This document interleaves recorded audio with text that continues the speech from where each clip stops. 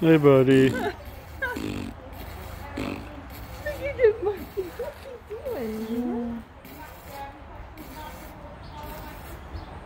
Dang it. We have to get rid of our cone.